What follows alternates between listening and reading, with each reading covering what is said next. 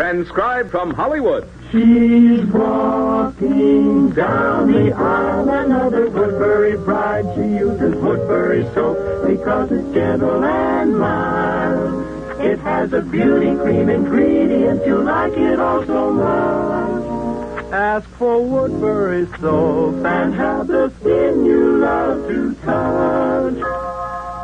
Woodbury, the soap with the beauty cream ingredient, presents the Louella Parsons Show. What screen actress received a marriage proposal today at a football game? What film star was assaulted and had three ribs broken when he visited his mother? What glamorous thrush will become the next Mrs. Artie Shaw? Tonight you'll get the answers from Louella Parsons, motion picture editor of International News Service and the Hearst Papers. Louella will also have as her guest Vic Damone.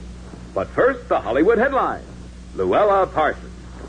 Hello from Hollywood to all of you. And now for my news. The much married Artie Shaw, former husband of Lana Turner, Ava Gardner, Kathleen Winsor, and so forth, is trying it again. This time it's Sue Carson, who formerly sang at the Bar of Music here. If Mrs. Clark Gable persists in her alimony fight with Clark, there'll be real fireworks. There's an angle to the case that hasn't yet been revealed, and believe me, that angle is dynamite.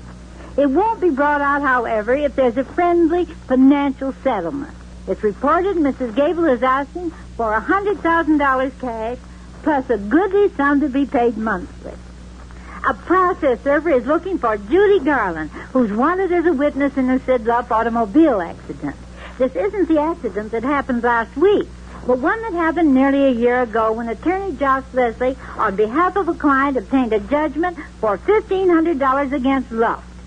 On October 16th, Leslie will ask Luft why he hasn't paid up. Isn't that the date that Judy's due to open at the palace?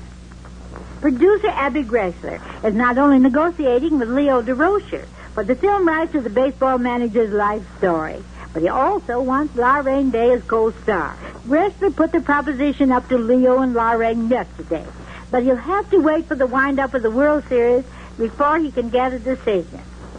And that reminds me, you can't get anybody on the studio telephone while the World Series is going on. When Barbara Payton appears before the federal grand jury on October 18th, presumably to repeat her story, which was an alibi for Stanley Adams, she'll be asked if she knows who killed Abe Davidian, underworld narcotic ringleader. Don Cougar, formerly Barbara's sweetheart, will also be questioned.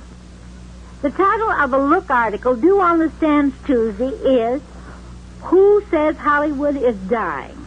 That article by Jack Sayers proves movie attendance and profits are climbing. He says the studios are investing $285 million this coming year in talent, color, and production. Sayers' factual reporting again ridicules the loose talk, pardon the pun, of Life magazine, which said motion pictures are doomed.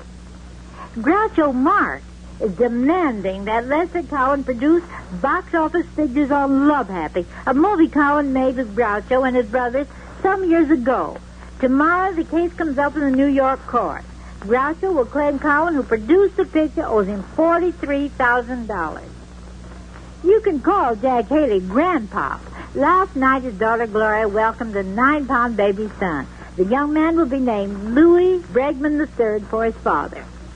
How's this for spot news? This afternoon, Jerry Nathanson, wealthy president of the Palm Springs Chamber of Commerce, took Pat Neal to the Rams football game. He asked her to marry him, and Pat is considering. Does that mean that the Gary Cooper romance is over? Nicola Fontana, one of the famous sisters of the Italian dress designing firm, certainly had all the help in the world for her first showing here. Rex furnished the hat, Teitelbaum the furs, and our leading jewelers the jewel. Not that the gowns needed much jewelry. They're bejeweled and very fancy and made of fabulous material. The prices range from three hundred to fifteen hundred dollars. That is, if you can afford them. John Barrymore Jr. has two broken ribs acquired in a very unpleasant way. When he went to visit his mother at her ranch, he was thrown off the property by a caretaker. Either the man didn't recognize young Jack or he didn't want him there. Hundreds of stars, writers, directors, and even producers left Hollywood this morning for all parts of the United States. They're a part of the Movie Time USA program. It's a perfect time for such a tour, with pictures never better. George Jessel tells me a lifetime dream has come true. Charles Skouras, head of the West Coast Theater, has named a theater for him. You couldn't give Georgie a million dollars and make him any happier. On Thanksgiving Day, Herman Hover, mine host of the Swank nightclub Ciro's, will marry Yvonne Ely, one of the most beautiful girls in town. She is a non-professional. It's a boy for the Louis Jourdans. He'll be called Louis Jr. Mother, father, and baby are all doing well. I have a Woodbury marrying Deb in my own family. Tomorrow, my niece, goddaughter, and namesake, Louella Ettinger, is marrying Jerry Rayfield in the Beverly Hills Church of the Good Shepherd. Monsignor Kincannon is performing the ceremony. Now the fall is here, we know that winter cannot be far behind, Marvin. And that means complexion needs extra care. So tell us again why Woodbury soap is so different and so marvelous, will you? I certainly will, Louella. Because Woodbury facial soap is different in a very important way. Woodbury contains a beauty cream ingredient, the same rich oil used in finest face creams to help keep skin soft and youthful looking. After washing with ordinary soap, skin may feel dry and taut. But the Woodbury Beauty Cream ingredient is intended to help replace natural oils you wash away. Try a facial with Woodbury soap and see for yourself how beautifully fresh and glowing your skin looks, how exquisitely soft it feels. Now, here is the talk of the town. I have a young man with a voice here this evening to sing for us. He's also a young man in a uniform these days. And I must say he looks very handsome and healthy as he stands here beside me. I'm talking about Vic Damone. You know, Vic, I wouldn't have grabbed you away from your three days furlough, except that I wanted to see you. I wanted to hear you. And I wanted to tell you how excellent you are in your first picture, Metro Goldwyn Mayer's Rich, Young, and Pretty. I liked your voice. I liked your love theme. In fact, I just plain liked you. Thank you, Miss Parsons. Now I'm really set up, getting such a big build-up from you. Well, I hope it makes you feel mellow enough to tell me if you are officially engaged. Sure I'm engaged. To Joan Benny? Nope, to Uncle Sam. For another 19 months. Oh, come on now, Vic. you know that's not the engagement I mean. What about you and Joan Benny, Jack's attractive daughter? Well, Joan's engaged, too. She is? Mm-hmm. To Stanford University for four years beginning this month. Well, my young friend, if you won't talk, I just might take back some of my remarks about you and Rich, young and pretty. Oh, don't do that, please. Besides, I like to talk about Joan. Did you know I didn't even know her name the first time I met her? Well, I've been told this heart-shaking event took place last winter at Palm Springs. Yes, at the Racquet Club. I was hunting up a tennis game, and so was she. And we played one. And did she trounce me? so to get even with her, I asked her to have dinner with me that evening. That just goes to show how you were attracted to her right in the beginning. Mm-hmm. Yes, ma'am. And to prove how smart she is, she compromised on having a Coke right then. We just sat down at the counter when Jack Benny and Mary Livingstone came in, and I said, being a big shot, Look, that's Jack Benny, the funniest man in the world. Joan looked up and said, Oh, I don't know. He's not so funny at home. Well, you must have been glad you'd already established yourself as liking her old man. Miss Parsons, at that time, I was in such a fog looking at Joan that I still didn't realize she was Jack's daughter. Oh, well, didn't you get onto it when she said he's not so funny at home? Well, it puzzled me, so I changed the subject and asked her uh, to name her favorite singer. That was Vic Damone. No, that was Tony Martin. I'll bet that floored you. well, when I got up, when I got up, somebody came over and said, Joan, your mother wants you. And I saw Mary Livingstone smiling at us.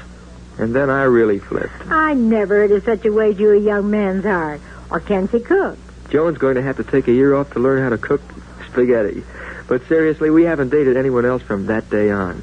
But what with my date with Uncle Sam and hers with Stanford, we can't make any immediate plans. I call that very wise. Tell me, are you getting used to Army regulations? Well, Miss Parsons, this may sound like flag waving, but I really am. I'm, I'm glad to serve my country. And you know, of course, that when you get back, MGM has a picture ready and waiting for you. So Joe Pasternak tells me. Do you wonder why I feel so good about being alive? That's as good a song cue as I ever heard. Your record, Wonder Why, explains a lot of your own sentiments, or I miss my guess. Miss Parsons, you never miss a thing. Why, thank you, Vic. Now may we have the song? Mm-hmm. Gladly. Wonder why I'm not myself of late. I'm feeling strangely brave. I wonder why. I suppose some genius could explain why I walk in the rain. Just let him try. I guess there is a simple explanation. Unless I come up with a new sensation, it could be that she's caught up with me and all the mystery I'm speaking of is simply that I went and fell in love. Let me say that sounds like a young man well worth waiting for. Goodbye and good luck overseas from all of us. Nothing's more appealingly feminine than soft, smooth skin, and proper care is the secret. So give your complexion Woodbury care. Woodbury facial soap, you know, is much more than just a cleanser. Woodbury contains a beauty cream ingredient intended to help replace natural oils you wash away. Try Woodbury facials and see what a difference that makes. How sparklingly fresh Woodbury soap makes your skin look, and how velvety soft it makes it feel. She's walking down the aisle, another Woodbury bride. She uses Woodbury soap because it's gentle and mild. It has a beauty cream ingredient, you like it all so much. Ask for Woodbury soap and have the skin you love to touch. Now, here is last minute news. Terrific forest fires have broken out in the Verdugo Hills, five miles from Warner Brothers Studios in Burbank, started by careless picnickers. Today is the hottest day of the year in Los Angeles. 96 at noon. A little warm, but not bad with the rest of the country having storms and rain. Yesterday at the little church around the corner, Mrs. Roxanne Stahl, widow of director John Stahl, became the bride of Ben Smith, government official. They're headed for Hollywood for a honeymoon. It's a boy for the Justin Darts. Mrs. Dart was formerly Jane Bryan, motion picture actress, and he is an executive of the Rexall Drug Company. Elizabeth Fraser is marrying Charles Peck, Universal International writer, in June. That's when she gets her final divorce decree from Ray McDonald. Roscoe Karns, well-known actor, wants all the world to know that he's a grandfather. His son Todd and his wife are the parents of a napalm son named Roscoe, whom Grandma says looks like Grandpa. Crisp, cold weather is coming soon, so now's the time to think about hand care. And that means Jergens lotion. Because regular Jergens care keeps hands soft as satin. Smooth on soothing Jergens before going outdoors, always after dishwashing and household chores. Jergens is really effective and quick, too, because it's instantly absorbed, leaves no sticky feeling. So keep your hands romantically lovely for pennies a day. Jergens lotion only costs 10 cents to a dollar plus tax. This is the Louella Parsons saying that's all for tonight, but I'll see you next Sunday when I'll take you to the glamorous photographer's costume ball, where you'll meet the stars. And this is Marvin Miller saying goodnight for Woodbury, the soap with the beauty cream ingredient for the skin you love to touch. This transcribed program came to you from Hollywood. America is sold on ABC, the American Broadcasting Company.